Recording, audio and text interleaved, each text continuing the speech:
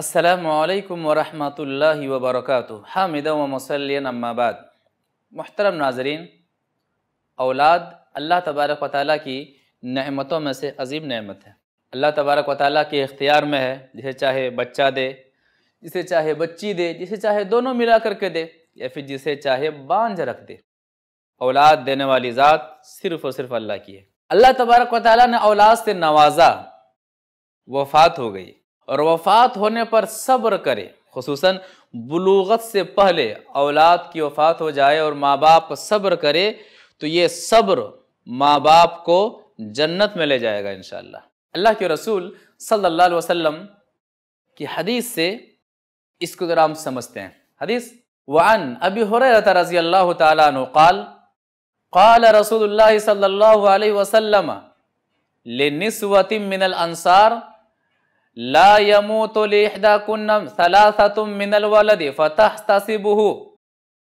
दखलतिल जन्ना मुस्लिम फ़ी किताबिल वसिला मुस्लिम शरीफ की हदीस है रावी हदीस हज़रत अबू हुरैरा रज़ी अल्लाह अन्हु वो फरमाते हैं कि अल्लाह के रसूल सल्लल्लाहु अलैहि वसल्लम ने अंसारी खवातीन से फरमाया कि ला यमूतु लिहदाकुन्ना सलासतुम मिनल वलद आप में से किसी के अगर तीन बच्चे फौत हो जाए, तीन बच्चों का इंतकाल हो जाए, बुखारी के हवाले से, बुलूगत से पहले, बुलू बालिग होने से पहले तीन बच्चों का इंतकाल हो जाए।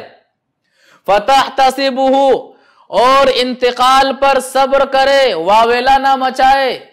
सवाब की उम्मीद रखते हुए सब्र करे, वावेला ना मचाए, नोहा ना करे, मातम ना करे, ना शुक्री वाले अल्फाज जबान से ना निकाले। इल्ला दखलतिल जन्ना तो वो औरत जन्नत में दाखिल होगी।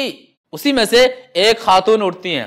अल्लाह के रसूल सल्लल्लाहु अलैहि वसल्लम, अगर किसी के दो बच्चे फौत हो जाएँ, दो बच्चों की वफात पर अगर कोई औरत सब्र करे तो क्या ये फजीलत उन्हें हासिल होगी? अल्लाह के रसूल सल्लल्लाहु अलैहि वसल्लम ने फरमाया हाँ अगर किसी के दो बच्चों का इंतकाल हो जाए किसी के यहाँ, दो बच्चों की वफात हो जाए और उस पर सब्र करे तो अल्लाह तबारक वाली उन्हें भी जन्नत में दाखिल फरमाएगा। तो औलाद की वफात पर सब्र करना दुखुल जन्नत का सबब है। एक और हदीस से पता चलता है कि किसी का एक बच्चा भी फौत हो जाए तो अल्लाह तबारक वाली उस बच्चे को बाप के लिए, माँ के लिए दुखुल जन्नत का सबब बनाएगा। हदीस, अन मुआवियत इब्न कुर्रा नबी क़ाल, कान रजुल नबी सल्लल्लाहु अलैहि वसल्लम मा बुनय्यिन फ़फ़द नबी सल्लल्लाहु अलैहि माता या रसूल अल्लाह फ़क़ाल रसूलुल्लाह सल्लल्लाहु अलैहि वसल्लम लि अबी अमा यसुर्रुका अल्ला ताती बाब मिन अबवाबिल जन्नति इल्ला वजदतहु यंतदिरुक रवाहु इब्न हिब्बान फ़ी सहीह इब्न हिब्बान की हदीस है शेख अलबानी रहमहुल्लाह ने इस हदीस को सही करार दिया है रावी हदीस जैसा कि पता चला हयत मुआविया बिन कुर्रा हयत मुआविया वो अपने बाप से रिवायत फरमाते हैं कि एक साहबी अल्लाह के रसूल सल्लल्लाहु अलैहि वसल्लम के पास हाजिर होते थे, उनकी खिदमत में आया करते थे अपने एक बच्चे को लेकर के। नबी सल्लल्लाहु अलैहि वसल्लम। अल्लाह के रसूल सल्लल्लाहु अलैहि वसल्लम ने कुछ दिनों बाद उस बच्चे को गुम पाया। बच्चा लेकर के आ नहीं रहे साहबी रसूल। अल्लाह के रसूल सल्लल्लाहु अलैहि वसल्लम ने जब दरियाफ्त किया तो साहबा कराम ने फरमाया, माता या रसूल अल्लाह अल्लाह के रसूल सल्लल्लाहु अलैहि वसल्लम, उस साथी के बच्चे का इंतकाल हो गया है। गमीन रहा करते थे।